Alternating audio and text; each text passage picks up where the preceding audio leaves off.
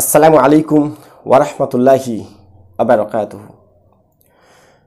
সম্মানিত ভিউয়ার্স আমি রাজফুল শেখ, আপনারা দেখছেন তহিদ মিডিয়া।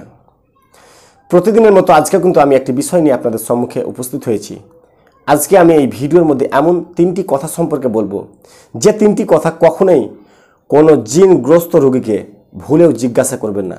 যদি জিজ্ঞাসা করেন, তাহলে কিন্তু আপনি বিপদে পড়ে যাবেন। সে তিনটি কথা কি সেটি জানতে হলে ভিউয়ার্স আমার এই ভিডিওটি কিন্তু পুরোটাই মন দিয়ে দেখতে হবে।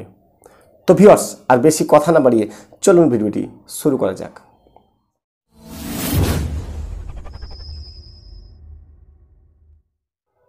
সম্মানিত ভাই, আজকে আমি এমন তিনটি কথা সম্পর্কে বলে দেব। যে তিনটি কথা যদি আপনি জিনগ্রস্ত রোগীকে জিজ্ঞাসা করে ফেলেন, তাহলে জিন বুঝে নেবে যে আপনি একজন বোকা। আপনি একজন চালাক মানুষ নয়। আপনার এখনও অনেক শিক্ষা বাকি রয়েছে এ সম্পর্কে। যার কারণে দেখা যায় অনেক কবিরাজরা, অনেক ওঝা যারা এই লাইনে রয়েছে, তারা ঠকে যায়। সে তিনটি কথা কখনোই আপনি জিজ্ঞাসা করবেন না না হলে কিন্তু আপনিও বিপদে। তারা অতি সহজে বুঝে নেবে যে আপনি আসলেই ওদের সম্পর্কে কি আপনার কোনো অভিজ্ঞতা রয়েছে, না আপনি এমনি নেমে গেছেন মাঠে। যদি আপনি তিনটি কথা জিজ্ঞাসা করে ফেলেন, তাহলে তারা বুঝে নেবে যে আপনি একজন অন্ধর মতো। এখনও আপনার এ সম্পর্কে কোনো জ্ঞান নেই। তার জন্য তারা আপনাকে হাসি করবে, মজা উড়াবে। সে যেতে চাইবে না, সে আপনার ক্ষমতা সম্পর্কে বুঝে নেবে। আমি যে তিনটি কথা আজকে আপনাদের এই ভিডিওর মধ্যে বলব, হয়তো কোনো কবিরাজ আপনাকে এই কথাগুলো বলেনি এর আগে। ইনশাল্লাহ ভিডিওটি মন দিয়ে দেখবেন। তো ভাই সকল, সে তিনটি কথা কি? নাম্বার এক। নাম্বার এক জিনগ্রস্ত রোগীর ওপর জিন হাজির হয়ে যাওয়ার পর কখনোই আপনি জিজ্ঞাসা করবেন না, তোমার নাম কি? হয়তো শুনে মনে হবে যে এই ভাইয়া মানে উল্টা কথা বলছে। যেহেতু প্রায় কবরেজরা বলবে যে, তোমার নাম কি?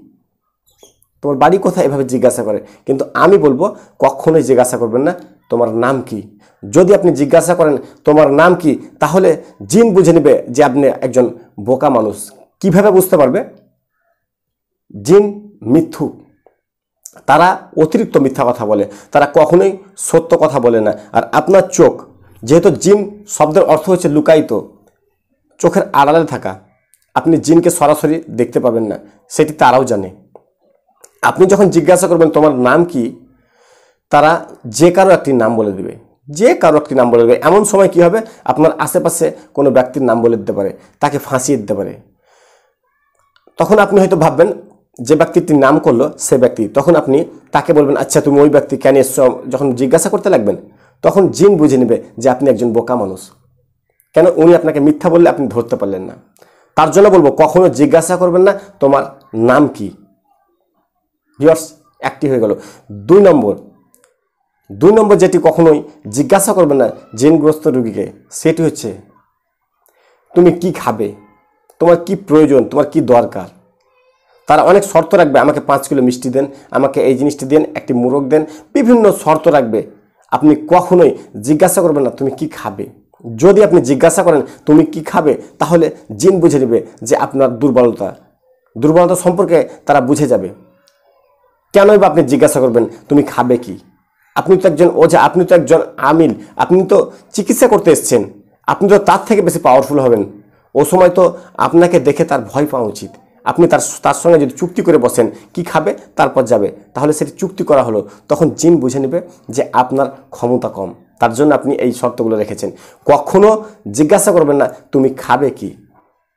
তিন নম্বর যেটি, কখনোই জিজ্ঞাসা করবেন না জিনগ্রস্ত রোগীকে। সেটি হচ্ছে, তুমি কবে যাবে? অনেক সময় অনেক কবিরাজ দেখা যায় বলে, তুমি কদিন পর চলে যাবে? এক সপ্তাহ সময়? এক মাস? ঠিক আছে, এক মাস সময় দিলাম। মানে জিন যখন নিজে চেয়ে নেবে সময় যে আমি এক সপ্তাহ এখনও থাকব রোগীর উপর, তখন কবিরাজ যে আমিল, সে যখন বলবে, ঠিক আছে, এক সপ্তাহ সময় দিলাম, তারপর কিন্তু চলে যাবে। জিন কিন্তু বুঝে নেবে আপনার ক্ষমতা সম্পর্কে যে আপনার ক্ষমতাটি কম, তার জন্য তার শর্ত মেনে নিয়েছেন। তার জন্য ভুল করে আপনি তৃতীয় কথা, এই তিনটি কথা কখনোই জিনগ্রস্ত রোগীকে জিজ্ঞাসা করবেন না। যদি জিজ্ঞাসা করেন, তাহলে জিন বুঝে নেবে আপনার ক্ষমতা সম্পর্কে। কেন অদৃশ্যের জিনিস, তারা আমাদের চোখের আড়ালে। আপনি যদি বলেন যে হ্যাঁ ঠিক আছে, তোমাকে এক সপ্তাহ আমি সময় দিলাম। সে এক সপ্তাহ পর যাবেও না। ও বুঝবে যে, আপনি কিসের জন্য তাকে এক সপ্তাহ সময় দিয়েছেন? আপনার যদি ক্ষমতা থাকতো, তখনই বলতেন, না, তোমাকে এক মিনিট সময় দেওয়া হবে না। তুমি যাবে না যাবে না। যদি না যাও ইনশাল্লাহ আমি আল্লাহর কালাম দিয়ে তোমাকে জ্বালিয়ে দেবো। তখনই জিন ভয় করবে, তখনই ছেড়ে চলে যেতে বাধ্য হয়ে যাবে। আমরা কখনো কোনো রোগীকে জিজ্ঞাসা করি না, তোমার নাম কি? তুমি কি খাবে? তুমি কখন যাবে? এখান থেকে গিয়ে কোথায় গিয়ে পড়বেন? না, আমার সামনে এখনই যেতে হবে।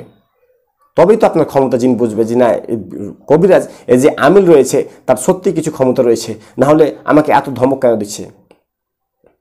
আপনাকে বলতে হবে, তোমাকে এখনই যেতে হবে। যদি না যাও, আল্লাহর কালাম দিয়ে তোমাকে আমি জ্বালিয়ে দেব। দেখবেন সে বাধ্য হয়ে যাবে। যদি না যায়, জ্বালাবার উপ মানে জ্বালাবার ব্যবস্থাও রয়েছে। সেগুলো অন্য ভিডিওতে ইনশাল্লাহ বলে দেব। যদি না যায়, তারপর কি করবেন? তবে খেয়াল রাখবেন, তিনটি কথা কখনোই জিজ্ঞাসা করবেন না। যদি জিজ্ঞাসা করেন, জিন আপনার ক্ষমতা সম্পর্কে বুঝে যাবে। সে হাসি উড়াবে, সে মজা নেবে। সে বলবে, এমন একটি বোকা কবিরাজকে পেয়েছিলাম যে আমি যা বলেছি তাই মেনে নিয়েছে। তো ভিওয়ার্স ভিডিওটি কেমন লেগেছে জানাবেন। ভিডিওটি ভালো লাগলে একটি লাইক দেবেন এবং বন্ধুদের সঙ্গে শেয়ার করবেন। আমি যে আলোচনাগুলো করছি, আপনারা যে শুনছেন, উপকৃত হচ্ছেন, আপনার বন্ধু, বান্ধব তারাও যেন উপকৃত হতে পারে। ভিউয়ার্স আজকে কিন্তু এ পর্যন্ত। আবার একটি বিষয় নিয়ে আপনাদের সম্মুখে উপস্থিত হবে ইনশাল্লাহ ততক্ষণ ভালো থাকবেন এবং আমার জন্য দোয়া করবেন। আসসালামু আলাইকুম ওরহমতুল্লাহি আবার